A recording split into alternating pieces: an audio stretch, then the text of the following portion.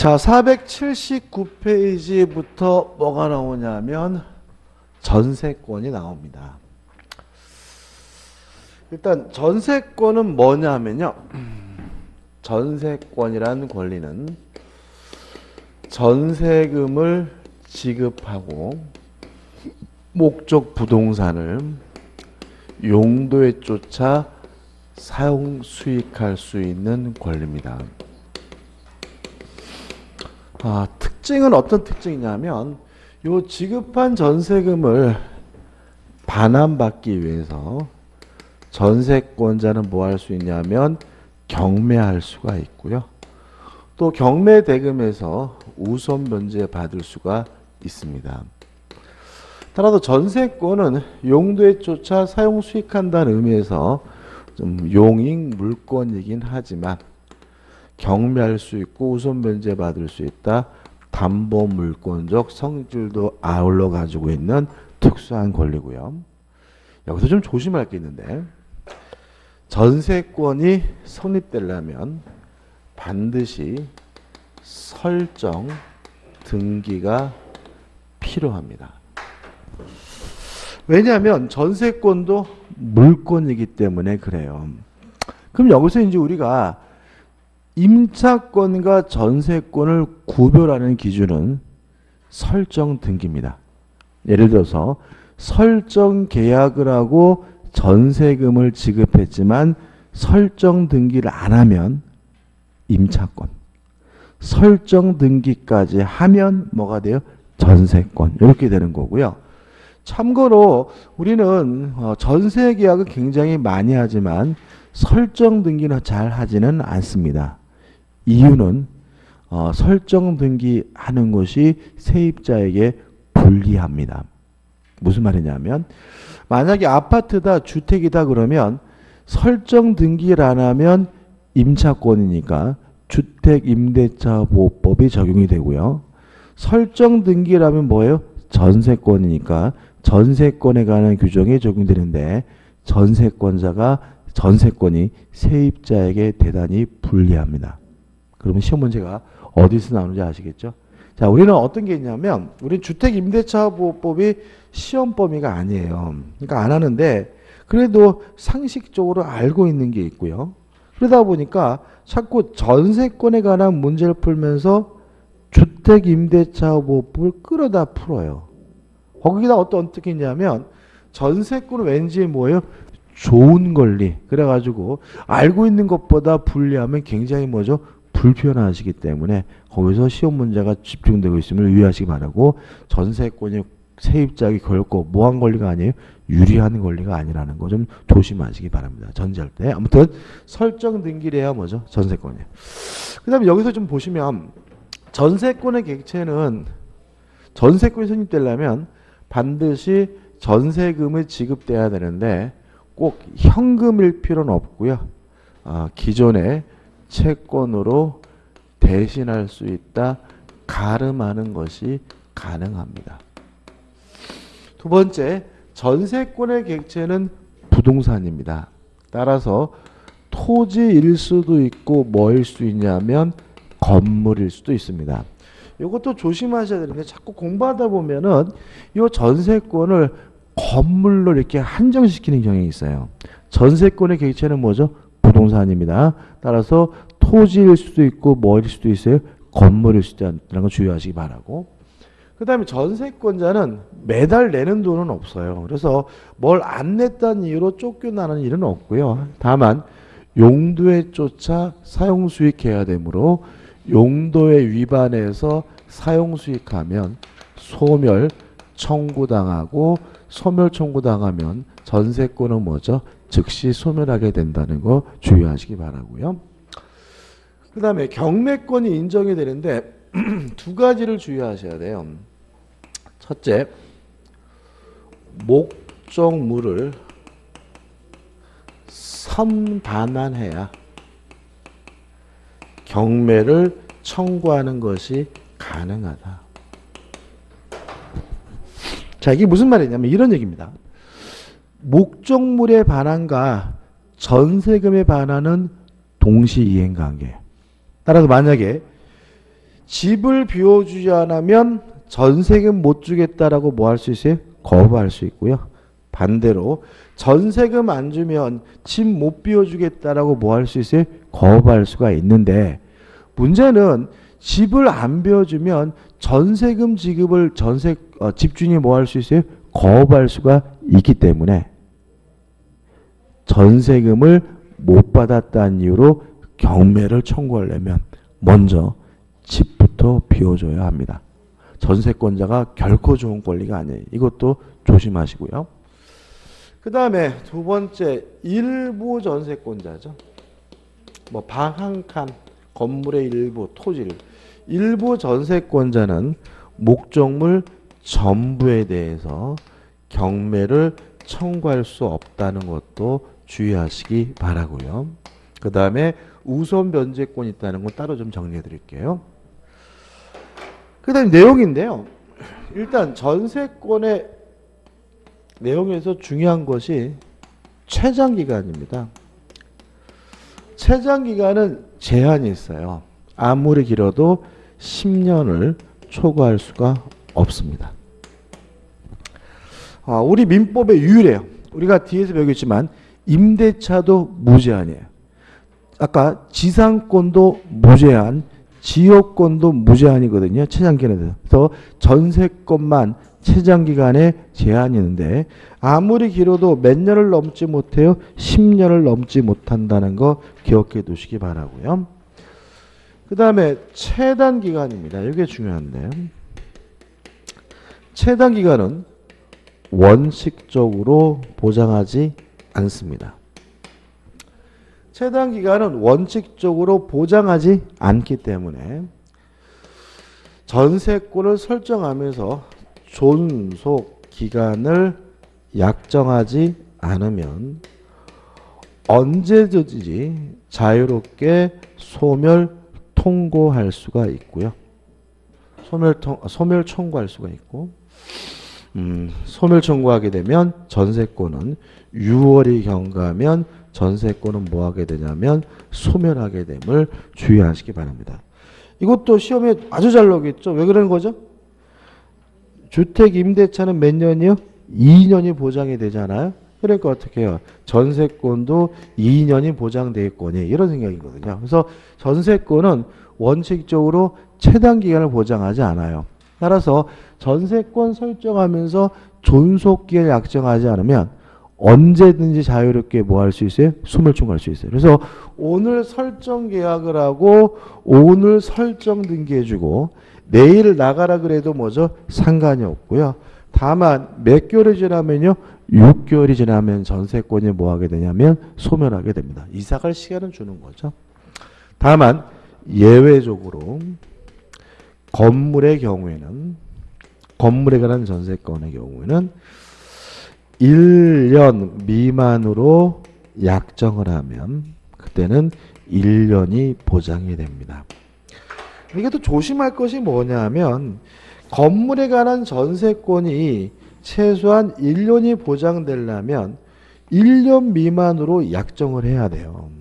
그래서 만약에 건물에 관한 전세권도 뭘 하지 않으면요.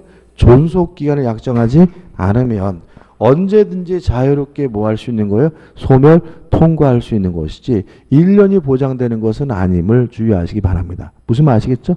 이것도 어, 잘 기, 억하셔야 돼요. 이것도 안 그러면 엉뚱하게 오해가시고 어떻게 틀릴 수가 있으니까 조심하시기 바랍니다. 그 다음에 전세권의 법정 갱신 제도가 인정이 됩니다. 요건은 만료 전 6월부터 1월 사이에 특별한 의사표시가 없었다면 자동으로 뭐죠? 갱신돼요. 다시 말하면 만료 전 6월부터 1월 사이에 집주인이 나가라고 한 적이 없고요.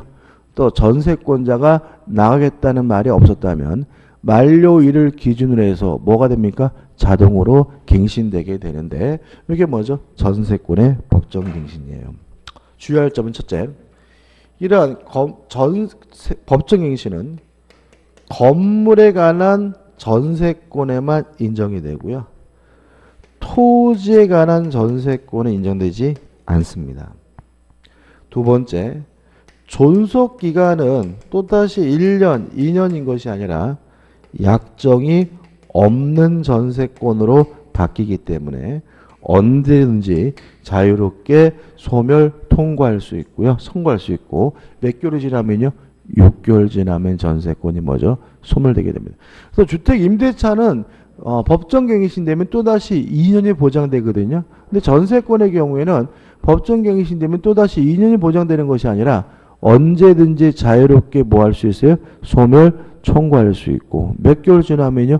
6개월 지나면 전세권이 소멸되게 됨을 주의하시기 바라고 마지막으로 세 번째 등기할 필요는 없습니다.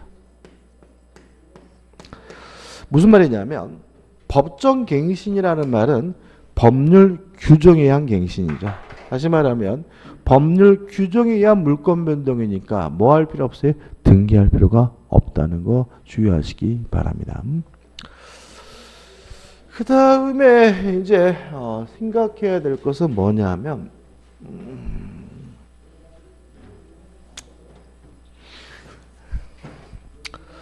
전세권자가 살면서요 뭔가를 부속시켰어요. 중요한데 요거는 임대차와 같습니다. 임대차 같고 그래서 임대차 할 때는 전세권과 동일합니다. 이렇게 할 건데 부속시킨 것이 만약에 원칙에 따라서 부합을 하게 되면 그때는 뭘 청구하냐면 유익비 상환 청구권 문제로 갑니다. 다만 유익비 상환 청구권에 관한 민법 규정은 임의 규정이기 때문에 특약으로서 뭐 할 수 있냐면 배제할 수가 있습니다. 근데 만약에 부속시킨 것이 구조상 유용상 독립성이 있다는 이유로 부합되지 않았고요. 전세권 설정자로부터 동의 또는 매수해서 부속시킨 경우라면 이때는 부속물 매수를 청구하게 됩니다. 자, 이때 행사하는 부속물 매수 청구권은 형성권이기 때문에 전세권 설정자가 거부할 수가 없고요. 또 강행 규정이기 때문에 특약으로서도 뭐 할 수 없냐면 배제할 수가 없습니다. 자, 이런 얘기예요. 자, 1층 건물이 있는데요. 음, 갑의 소유입니다. 근데 을이 전세권을 가지고 1층 건물을 어, 살고 있는데 을이 갑한테 와가지고 안녕하세요. 저 전세 세입자인데요. 요거 2층으로 증축합시다 라고 하길래 갑이 돈 있으면 당신이 알아서 하죠. 동의해줘서 을이 뭐 했어요? 증축을 했어요. 근데 만약에 증축된 부분이 원칙에 따라서 뭐죠? 부합하면 뭐로 가요? 유익비 상한 증후권으로 가고요. 만약에 구조상 이용상 독립성이 있다는 이유로 부합하지 않았다면 갑으로부터 동의를 얻어서 증축한 것이니까 뭐로 갑니까? 부속물 매수 증후권으로 간다. 이렇게 되는 거거든요. 그래서 어떤 일이 벌어지냐면 그래서 갑이 동의를 해주고 나서 보니까 아, 나중에 을이 지가 지었으니까 2층은 지 거다라고 먼저 주장할 것 같아요. 그래서 을한테 여기서 을이 각서를 써준 거죠. 2층에 대한 어떠한 권리도 주장하지 않겠다. 포기하겠다는 각서를 썼어요. 이랬을 때 어떻게 되느냐. 만약 이것이 증축된 부분이 원칙에 따라서 부합을 하면 이 각서가 유효해요. 왜요? 유익비 상한 중국거래 관한 민법 규정 뭐죠? 임의 규정이기 때문에 특약으로서 뭐 할 수 있어요? 배제할 수 있고 따라서 그런 가백에 아무것도 청구하지 못합니다. 근데 만약에 구조상 용상 독립성이 있다는 이유로 부합하지 않아서 부속물 매수를 청구하게 되는 경우는요. 이 각서는 무효예요. 왜냐하면 강행 규정이고 특약으로서 뭐 하지 못해요? 배제하지 못해요. 따라서 이런 각서에도 불구하고 어른 가백에 매수해 달라고 뭐 할 수 있어요? 청구할 수 있다. 이렇게 되는 거거든요. 그래서 이게 항상 조심할 것은 뭐냐면 집주인 입장에서는 각서 받았다라고 안심하지 말고 가서 뭐죠? 지켜서 있어야 돼요. 계단을 어떻게 해요? 안으로 뽑으라고. 무슨 말 아시겠어요? 그래야 뭐가 돼요? 부합되잖아요. 근데 현실은요, 어떤 일이 발생하냐면, 오히려 집주인이 밖으로 뽑으라고 주장을 하는 경우가 있어요. 왜 그러냐면은, 안으로 뽑으면 자기 집이 뭐예요? 망가진다고요. 그랬다가 뭐예요? 큰 코 다칠 수가 있어요. 이집 뭐예요? 사줘야 되는 일이 발생할 수가 있고요. 또 세입자 입장에서는 만약에 각서 써달라면 뭐죠? 써줘도 상관은 없어요. 다만 밤에 하든 어떻든 몰래 하든 출구를 뭐예요? 밖으로만 뽑아놓으면 뭐죠? 땡인 거예요. 그죠? 독립되지 않으면 각서에도 불구하고 뭐 할 수 있어요? 부합을 청구, 아, 부속말을 청구할 수 있습니다. 그래서 항상 민법은 뭐냐면은 실제로 우리가 좀 시간이 없어서 자세히 못하는데 이런 거죠. 나한테 계약이 유리하게 됐으면 장땡이다. 이거 아니에요. 아무리 나에게 유리하게 뭐 했더라도요. 계약을 했더라도 그 계약한 내용이 강행 규정에 위반해서 무효라면 아무짝에도 쓸모없는 내용인 거예요. 그래서 항상 법을 잘하는 놈하고 계약할 때는 뭐 해야 돼요? 조심하셔야 돼. 법을 잘하는 놈하고 만났을 때는. 그래서 항상 전문가하고 뭐예요? 상의하고 내가 그냥 유리하게 했으면 됐지라고 할 문제는 아님을 주의하시기 바랍니다. 이 정도입니다. 그죠? 이 정도. 자, 교재를 보시면은 이런 내용이 나와요. 그죠? 한번 쭉 보세요. 그죠? 다 이게 전부예요. 그죠? 전부인데 근데 문제는 뭐냐면 여기다가 추가할 게 뭐가 있냐면 경매 얘기를 좀 추가해야 돼요. 경매. 그래서 우리가 이거는 어, 여기서 다루고 저당권 할 때는 안 다룰 건데 음, 경매입니다. 경매에 대해서는 어, 공부하려고 하면 하나없이 복잡하고요. 또 하, 뭐 간단하게 하려면 하나씩 간단해요.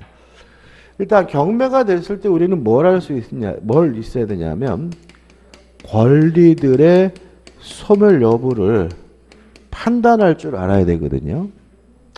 근데 우리가 기억할 것은 세 가지예요.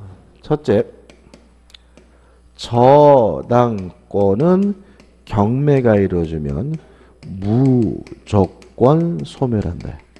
어떻게 소멸한다고요? 무조건입니다. 두 번째, 용의권의 소멸 여부는 누구하고 비교하냐면 최우선순위 저당권하고 비교합니다. 누구하고요? 최우선순위 저당권하고 이게 무슨 말이냐면 어, 여기서 말하는 용의권은 뭐냐면 지상권, 지역권, 전세권, 대항력 있는 임차권까지 포함하는 개념인데요. 어, 저당권자 중에 가장 빠른 저당권자 비교해서 뭘 결정해요? 소멸 여부를 결정하고요. 최우선순위 저당권보다 늦으면 무조건 소멸하고 최우선순위 저당권보다 빠르면 뭐 되잖아요? 소멸되지 않습니다. 그 다음에 세 번째 유치권은 경매가 되더라도 뭐 되지 않냐면 소멸되지 않습니다. 이세 가지인 거죠. 자, 세 가지 가지고 판단해 봤더니 만약에 소멸이 안 돼요. 소멸이 안 되면 배당을 못 받습니다. 소멸되는 권리만 뭘 받을 수 있냐면 배당을 받을 수가 있는데 아, 배당 순위는 아무한테나 주어지는 것이 아니라 우선 변제권이 존재해야 배당 순위가 주어집니다. 그러니까 우리가 우선 변제권이다 그러면 우선에서 돈을 받는다는 말이 아니라 실제로는 배당 순위가 주어진다는 얘기예요. 그러니까 저당권도 우선 변제권 있고 전세권도 뭐요? 우선 변제권. 주택 임차권도 우선 변제권 있고 이다라 말은 뭐가 주어진다는 얘기죠? 배당 순위가 주어지는데 어떻게 결정되냐면 등기된 권리는 등기된 시점을 기준으로 그다음에 이건 시험법이 아닙니다. 확정 일자부 임차권도 우선 변제권이 있거든요. 요것도 어, 확정 일 그냥 아이, 시험법이 아닌 거 안 할게요. 그냥 등기된 권리가 우선 변제권 있다면 등기 시점을 기준으로 해서 배당 순위가 뭐죠? 결정된다. 이게 전부입니다.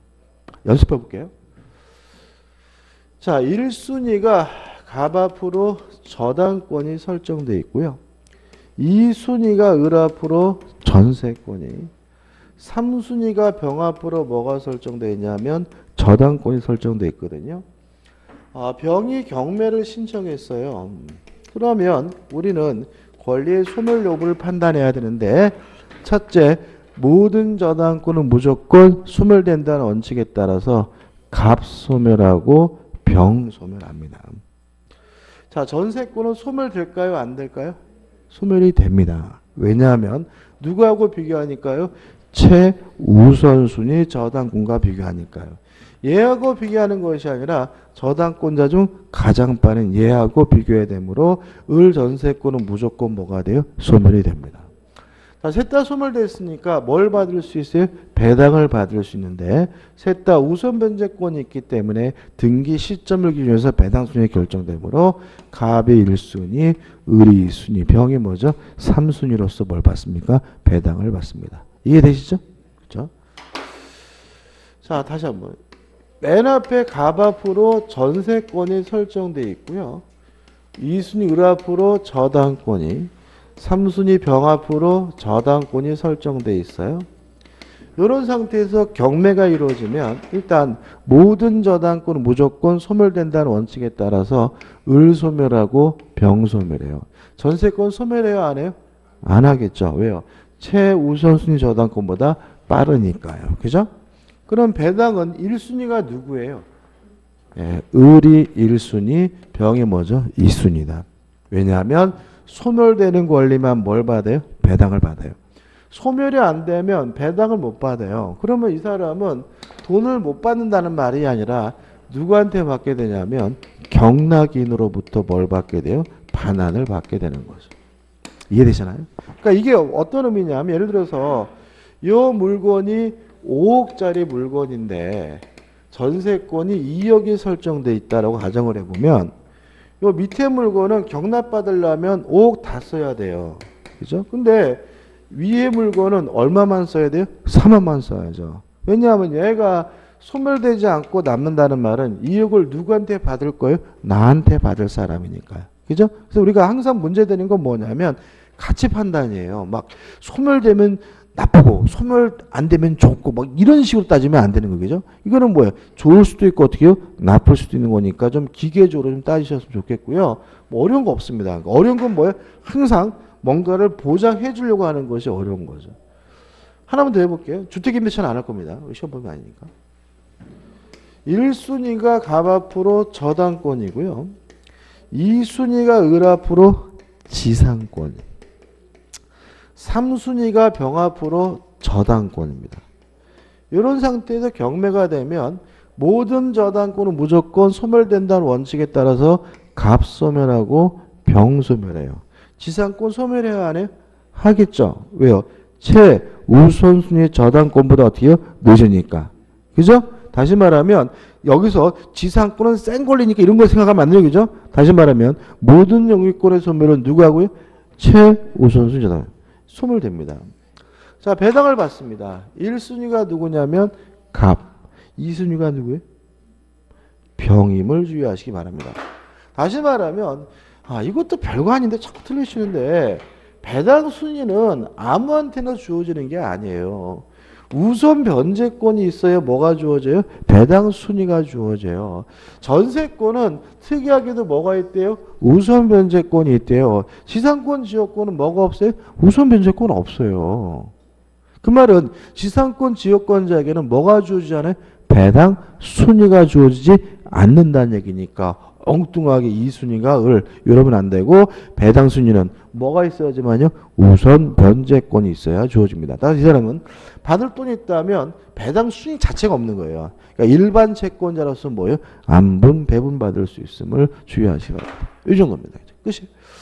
자, 전세권 규제는 안 볼 거예요. 한번 쭉 보시고 그다음에 넘기셔 가지고 우리는 어디로 갈 거냐면 유치, 담보물권을 갑니다.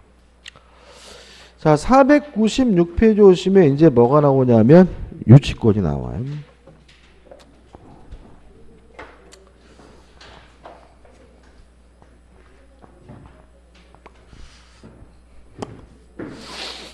일단 유치권은 뭐냐면 타인의 물건이나 유가증권을 점유하고 있는 자감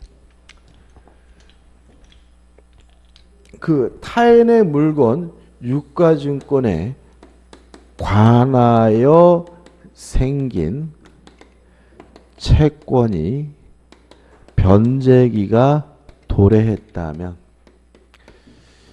이때는 뭐가 성립하냐면 유치권이 성립하고요. 유치권이 성립되게 되면 이때는 반환을 못하겠다라고 뭐 할 수 있냐면 거부할 수가 있습니다. 아, 법적 성질 볼까요? 음, 1번 담보 물건이지만 우선 변제권과 물상대의성이 없어요. 자, 일단 물상대의성이란 말을 모르는데 왜 우선 변제권이 없는지는 알 수 있어요. 왜 없어요? 지금 소멸되는 권리만 배당을 받을 수 있고 배당 순위가 주어지는 게 뭐예요? 우선 변제권인데 유치권은 경매가 되더라도 뭐 되지 않아요? 소멸되지 않아요. 그러니까는 유치권자에게는 뭐가 주어지잖아요? 배당 순위가 주어지지 않는다. 뭐가 없어요? 우선 변제권이 없고요.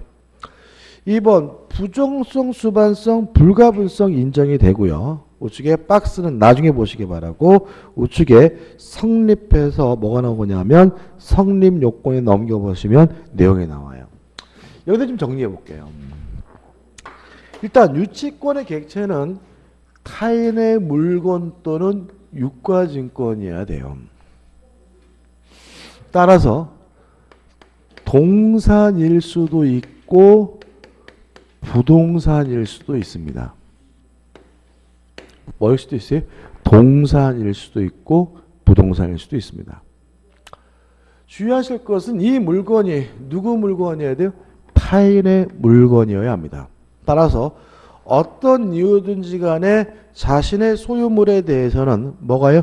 유치권이 성립되지 않으므로 각종 매수 청구권을 이유로 해서는 유치권이 성립될 수가 없습니다. 뭐가요? 유치권이. 동의하시나요? 자, 매수를 청구한다는 말은 내 건데 사란 얘기죠. 그죠? 누구 거예요? 내 거. 여기서 보시면 지금 부속물 매수 청구권이 인정된다는 말은 부합하지 않으면 누구 거예요? 전세권자 거란 얘기잖아요. 그러니까 어떻게 해요? 매수 청구권을 이유로는 뭘 행사할 수 없어요? 유치권 행사할 수 없죠. 근데 유익빈 상한 청구권을 이유로는 뭘 행사할 수 있냐면 유치권 행사할 수 있어요. 왜요? 부합하면 누구 거예요? 집주인권. 내게 아니니까 뭐죠? 유치권 행사할 수가 있는 거죠. 다시 말하면 누구 물건이어야 됩니까? 타인의 물건. 내 거면 안 됩니다. 그 다음에 반드시 점유를 해야 되는데 요 점유는 직접 간접을 불문해요. 또 반드시 점유해야 되는데 이 점유는 적법한 점유여야 하고요. 위법한 점유인 경우에는 유치권이 뭐 되지 않아요? 성립되지 않아요. 또 반드시 점유해야 된다는 말은 어떤 이유를 불문하고 점유를 상실하게 되면 유치권이 뭐가 된다는 얘기냐면 소멸된다는 얘기이기 때문에 유치권에 기한 반환 중국권 인정되지 않아요. 또 점유를 상실하면 무조건 뭐가 돼요? 소멸이 되기 때문에 물상대위권도 인정되지 않습니다. 아직 우리가 물상대위 개념을 안 했으니까 일단 안 된다고만 좀 기억하자고요. 자, 저 아, 반환 추권이 없다는 거 중요합니다. 그죠? 자, 점유를 상실하면 유치권은 무조건 뭐가 돼야 돼요? 소멸이 돼야 되므로 어, 반환 추권 인정되지 않습니다. 그 다음에 유치권 내에 담보되는 채권은 어떤 채권이어야 되냐면 물건에 관하여 생긴 채권이어야 돼요. 따라서 그 물건을 수리한 필업이나 그 물건을 개량한 유익비나 그 물건에 대한 공사대금 채권에 대해서는 유치권이 성립될 수가 있겠지만 그 물건에 관한 책임 채권이 아닌 보증금이나 권리금, 매매 대금에 대해서는 유치권이 성립되지 않습니다. 어, 최근에 뭐 출제 경향은 임차 보증금에 대해서 유치권이 성립되지 않는다는 문제가 잘 나왔는데 최근엔 또 뭐죠? 매매 대금에 대해서 유치권이 성립되지 않는다는 거 잘 나오니까 잊지 마시기 바라고 그 다음에 변제기가 뭘 해야 돼요? 도래해야 돼요. 따라서 아직 변제기가 도래하지 않는다면 유치권은 뭐 되지 않아요? 성립되지 않는다는 거 주의하셔야 되고요. 효과입니다. 유치권이 성립하면 반환을 거부할 수가 있습니다. 물론 물권이고 절대권이니까 어, 채무자에 대해서뿐만 아니라 제3자에 대해서도 뭐 할 수 있어요? 반환을 거부할 수가 있고요. 조심할 것은 유치권을 이유로 적극적으로 변제해달라고 뭐 할 수 없냐면 청구할 수 없음은 주의하시기 바랍니다. 여기까지 한번 생각해 볼까요? 자, 예를 들어 볼게요. 갑이 소유하고 있는 A 토지를요. 을과 만나서 임대차 계약에서 을이 갑에게 보증금을 얼마를 줬냐면 2억을 줬어요. 그래서 갑이 토지 임차권을 취득하고 사용 수익하고 있었는데 이 토지에 대해서 필요비와 유익비, 비용을 지출했어요. 이 필요비, 유익비에 대해서 예를 들어서 뭐 2천만 원을 지급했다. 근데 문제는 이 토지가 매매가 됐어요. 또는 양 또는 경매가 됐어요. 그러는 바람에 병이 새로운 토지 소유자가 돼가지고요. 을한테 와서 내 땅이니까 나가라고 막 지랄거려요. 첫째, 을은 나는 임차권자이기 때문에 못 나간다라고 버틸 수 있어요, 없어요? 있어요, 없어요? 이건 또 어떤 분위기죠? 아, 진짜. 자, 우리가 물권은 모든 사람의 주장할 수 있는 뭐예요? 절대권. 제3자이 뭐할 수 있어요? 대항할 수가 있다. 그래서 제가 뭘 들었어요? 전세권은 뭐죠? 물권이니까 제3자에 뭐 할 수 있어요? 대항할 수 있다. 채권, 채권은 특정된 사람에게만 주장할 수 있는 상대권이기 때문에 특정한 사람에게만 주장할 수 있다. 제3자에 뭐할 수 없어요? 대항할 수가 없다. 그러면 제가 뭘 들었어요? 임차권을 들었잖아요. 그죠? 임차권은 물권이 아니라 뭐예요? 채권이에요. 누구한테만요? 갑한테만. 병한테는 주장할 수 없죠. 나는 임차권자이기 때문에 못 나간다라고 뭐 할 수는 없어요? 버틸 수는 없다. 그다음 우리 그리고 가병한테 보증금 2억 원 안 주면 못 나겠다라고 버틸 수 있어요? 없어요? 있습니까? 없습니까? 없다. 왜냐하면 보증금도 뭐예요? 채권이에요. 근데 만약에 보증금에 대해서 뭐가 성립한다면요? 유치권이 성립한다면 병에게 뭐 할 수 있어요? 대항할 수 있겠지만 보증금에 대해서는 뭐가 성립되지 않아요? 유치권이 성립되지 않아요. 따라서 보증금 안 주면 못 나겠다라고 뭐 할 수 없어요? 버틸 수는 없다. 이해되시죠? 다만 필요비 유익비에 대해서는 목적물에 관해 생긴 채권이니까 뭐가 성립돼요? 유치권이 성립되고 유치권은 모든 사람에게 주장할 수 있는 뭐예요? 절대권이니까 유치권을 이유로 못 나간다라고 뭐 할 수 있어요? 반환을 거부하는 것이 뭐죠? 가능하다.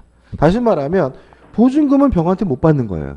다만 2천만 원 안 주면 못 나간다라고 뭐 할 수 있어요? 버틸 수가 있다 이렇게 되는 거고 문제가 되는 것은 을이 병에게 2천만 원을 달라고 변제 달라고 청구할 수 있을까요? 없을까요? 없다라는 거죠. 다시 말하면 유치권은 소극적으로 뭐 할 수 있어요? 반환을 거부할 수 있는 권리에 불과하고요. 유치권을 근거로 해서 제3자에게 돈 달라고 뭐 할 수 없어요? 청구할 수가 없는 거예요. 그래서 결국 을은 소극적으로 안 주면 못 나가겠다라고 뭐 할 수 있어요? 버틸 수 있을지언정 병에게 직접 돈 달라고 뭐 할 수는 없어요? 청구할 수는 없어요. 그래서 이게 어떤 일이 벌어지냐면 유치권 행사 중이라는 현수막이 걸리면 현수막이 굉장히 오래감을 알 수 있어요. 느끼시나요? 굉장히 오래갑니다. 왜 그러냐면 의리 병한테 직접 돈 달라고 뭐 하지 못해요? 청구하지 못하는 관계이기 때문에 병과 을 간에 뭐가 벌어져요? 은근과 끈기 싸움으로 돌입하게 됩니다. 그래서 유치권은 반환을 거부할 수 있을 뿐 적극적으로 뭐 할 수 없습니까? 변제해달라고 청구할 수 없음을 주의하시기 바랍니다. 그 다음에 두 번째 유치권자가 과실을 수취할 수 있느냐 요 문제에 대해 일단 과실을 수취하는 것은 가능합니다. 다만 수취한 과실은 변제에 충당하게 됨을 주의하시기 바라고요. 세 번째, 유치권자 목적물을 사용 수익할 수 있느냐? 원칙적 유치권자는 점유하고 반환을 거부할 수 있을 뿐 적극적으로 사용할 수 없고 수익할 수가 없습니다. 다만 우리 민법이 예외를 인정하고 있는데 채무자로부터 승낙을 얻으면 가능하고요. 아니면 보존에 필요한 사용은 하는 것이 뭐죠? 가능하다는 것이 우리 민법의 태도예요. 따라서 어, 을이 유치권 행사하고 있는 동안에 원래 목적대로 계속 유치 목적물을 뭐 할 수 있냐면 사용할 수가 있습니다. 왜냐하면 임차인이 원래 목적대로 계속 사용해야 하는 것은 보존에 필요한 사용으로 이해하게 됨을 주의하시기 바랍니다. 이 정도입니다. 이 정도만 좀 정리하시면 돼요. 교재 잠깐 보면은 자 499페이지 상단까지 뭐가 나와요? 요건이 나오거든요. 근데 요건을 보시면 좀 어려워요. 어려운데 복잡하게 하지 마시고 뭐죠? 요 파란색 부분만 잊지 마시고 그 다음에 유치권에 그렇게 해가지고 1번 유치권의 권리에서 목적물을 뭐 할 수 있어요? 유치할 수 있다. 하단에 부동산 임대차 유치 방법이 나오는데 무슨 말이냐면 임차인이 만약에 유치권이 인정된다면 원래 목적대로 계속 뭐 할 수 있어요? 사용할 수 있다. 왜냐하면 보존에 필요한 사용으로 평가하기 때문에 그렇습니다. 음? 그 다음에 넘겨보시면 유치권의 주자 제3자에게 주장할 수가 있고요. 3번 유치권 행사의 효과 음, 유치권 행사하더라도 채권의 소멸시효는 정상적으로 진행된다는 거 잊지 마시기 바라고 그 다음에 재판에서 문제가 됐을 때는 원고 일부 승소 판결을 내리게 됨을 주의하시기 바라고 2번 경미할 수 있고요. 3번 간이 변제 충당권 해가지고 일정한 요건을 갖추면 목적물에 관한 소유권을 직접 취득할 수가 있는데 이걸 우리가 간이 변제 충당권이라고 하고요. 우측에 4번 별채권 인정된다. 5번 과실을 수취할 수 있지만 어, 변제에 뭐죠? 충당해야 된다. 6번 유치물을 뭐 할 수 있어요? 이용할 수가 있느냐? 없다. 다만 채무자의 승낙이나 보존에 필요한 사용은 가능하다. 그 다음에 7번 유치권자가 필요비나 유입비를 지출한 경우에는 청구하는 것이 가능하다. 그 다음 유치권자의 의무에서 1번 선관주의 의무를 부담하고 넘겨보시면 유치물을 사용되어 담보로 제공하지 않을 의무가 있고요. 만약 이러한 의무를 위반하게 되면 소멸 청구당하고 소멸 청구당하면 유치권은 뭐죠? 즉시 소멸하게 됩니다. 그냥 유치권을 소멸해서 복잡하게 나와 있는데 가장 중요한 건 뭐죠? 요거죠. 점유를 상실하게 되면 유치권은 무조건 뭐가 돼요? 소멸돼야 되므로 반환 청구권 인정되지 않는다는 거 잊지 마시기 바랍니다. 그 다음 504페이지부터 뭐가 나오냐면 질권이 나오는데 질권은 안 할 겁니다. 이거 잘 내지 않아요. 내지 않으니까 굳이 할 필요는 없을 것 같고 바로 512페이지 뭐가 나오냐면 저당권이 나오는데 좀 쉬었다가 저당권을 보도록 하겠습니다.